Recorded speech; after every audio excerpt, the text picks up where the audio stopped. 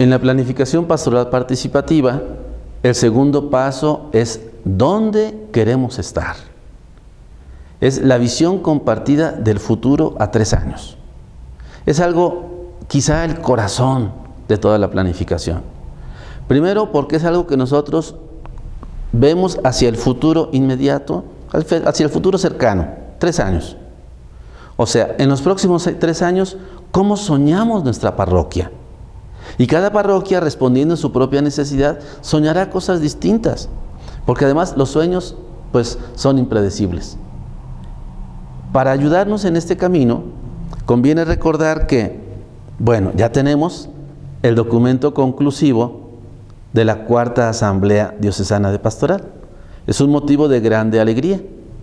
Aquí al final vienen las orientaciones pastorales que nos da el señor arzobispo.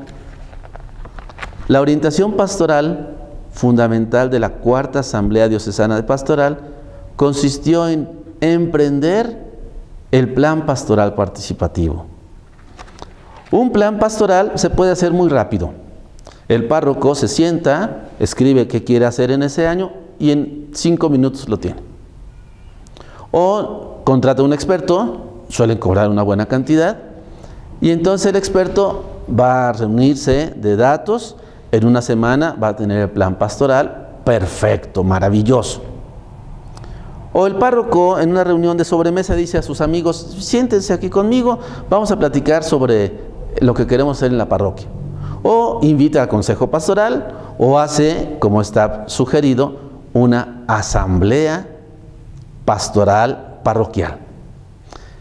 Para venir en ayuda de esta asamblea pastoral donde la gente va a participar, los encargados, los que están metidos ahí son los que van a tomar parte, la Arquidiócesis de Puebla nos ha dado este hermoso material sencillo, donde vemos la post-asamblea pastoral parroquial.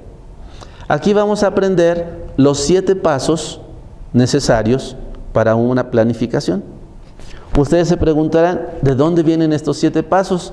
Bueno, pues han sido escogidos del estilo de planificación de los obispos de Brasil. Ellos llevan años muy organizados y nos presentan siete pasos muy sencillos, muy hermosos, que son los que vamos a usar nosotros aquí. La planeación pastoral participativa ha sido ampliamente tratada en un libro editado por el Consejo Episcopal Latinoamericano. El resumen fundamental se ha incorporado en la primera página de nuestro periódico. Aquí está.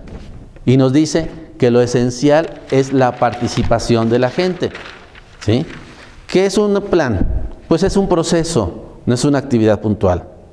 Es un proceso educativo donde vamos a aprender nuevas cosas, cambiando otras que teníamos, descubriendo otras nuevas, fortaleciendo cosas que ya sabíamos.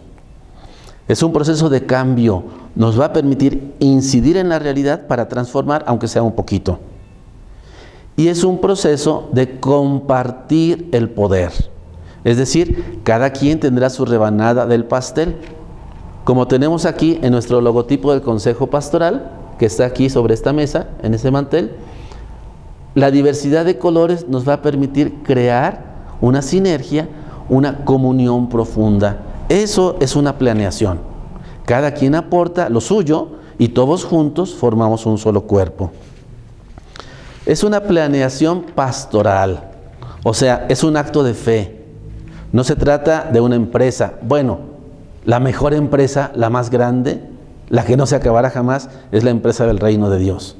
Entonces, como planeación pastoral, es un acto de fe en un Dios que está presente en la historia de la humanidad, aunque sea precaria, aunque sea de formas que no está totalmente visible.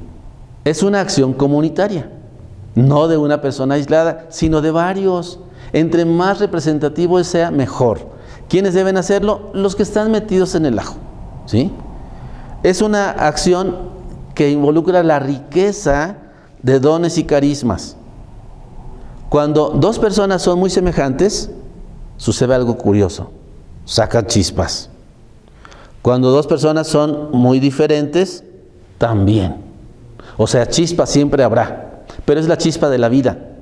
Integrar la diferencia es la sabiduría y es lo que nos da esta planeación.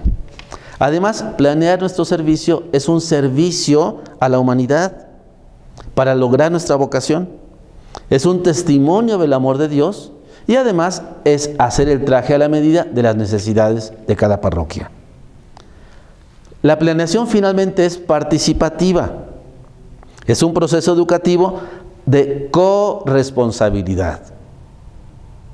El Papa, ahora emérito, Benedicto XVI, en una asamblea en Roma, nos dijo que los laicos no son empleados de la parroquia, no son colaboradores del párroco, son corresponsables de la vida y misión de la iglesia.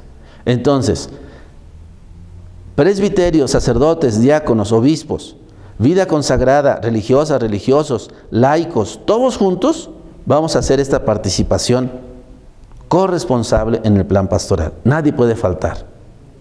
Claro, como es participativo es gradual, empezamos de chiquito y la planta va creciendo hasta que se desarrolla poco a poco.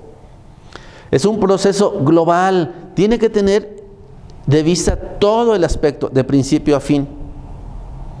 Implica una conversión personal, comunitaria y de la institución parroquial.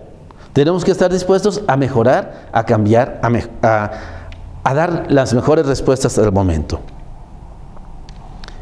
La planeación pastoral participativa es un cambio de actitudes, de comportamientos.